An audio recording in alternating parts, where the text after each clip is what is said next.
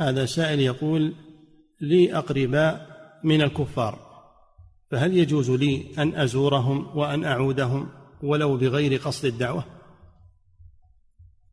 إذا كان ما هو محبة وإنما هو تألف لهم وصلة رحم لا بأس.